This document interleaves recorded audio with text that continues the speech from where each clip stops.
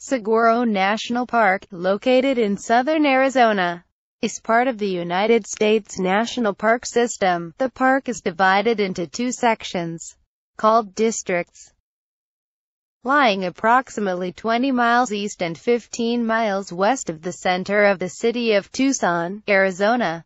The total area in 2011 was 91,442 acres, of which 70,905 acres is designated wilderness.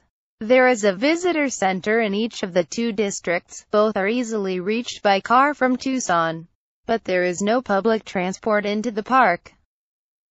Both districts conserve fine tracts of the Sonoran Desert, including ranges of significant hills the Tucson Mountains in the west, and the Rincon Mountains in the east. The park gets its name from the saguaro, a large cactus which is native to the region.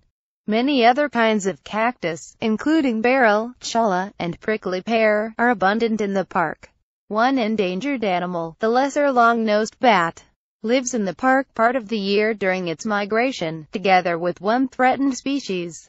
The Mexican spotted owl, Saguaro National Monument, was created on March 1, 1933, by President Herbert Hoover. On October 14, 1994, Congress elevated Saguaro to national park status.